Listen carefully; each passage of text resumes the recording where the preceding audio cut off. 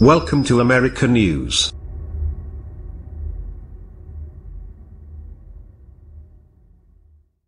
It looks like President Donald Trump did not wish the youngest daughter of the Trump family a happy birthday.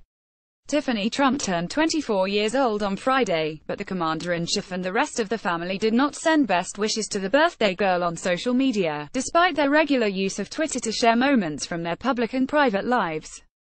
The Georgetown University law student is the president's only child from his marriage from Marla Maples, his second wife. It's unclear how close she is to sister Ivanka Trump, daughter of Ivana Trump, the president's first wife, or her stepmother, Melania Trump, the president's third wife, but Tiffany Trump did wish her father a happy birthday with an Instagram picture in June. King of Prussia, PA November 1 Tiffany Trump L., daughter of Republican presidential nominee Donald Trump, accompanies her father into a Wawa gas station to buy snacks November 1, 2016 in Valley Forge, Pennsylvania.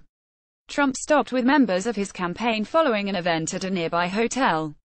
Photo by Chip Somodevilla Getty Images Keep up with this story and more by subscribing now While it's possible the president wished his daughter a happy birthday in a more personal announcement, he has sent birthday messages to other family members, as well as government entities, on Twitter since moving into the White House. Ivanka, Melania, and Donald Trump Jr. all got birthday wishes via Twitter from the president.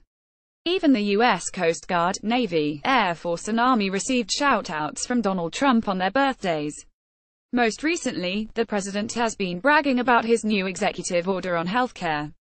Early Saturday morning, Trump took to Twitter to blame Democrats for Obamacare and the rise of health insurance stocks. Health insurance stocks, which have gone through the roof during the Obamacare years, plunged yesterday after I ended their Dems windfall, the president tweeted. He then followed with up with how great the new executive order on healthcare will be for Americans, claiming it would benefit millions of people in the U.S. Very proud of my executive order which will allow greatly expanded access and far lower costs for healthcare. Millions of people benefit, the president tweeted. The order could end up taking away healthcare insurance from millions of sick people by rolling back some of Obamacare's protections and actually raise premiums for the healthy Americans.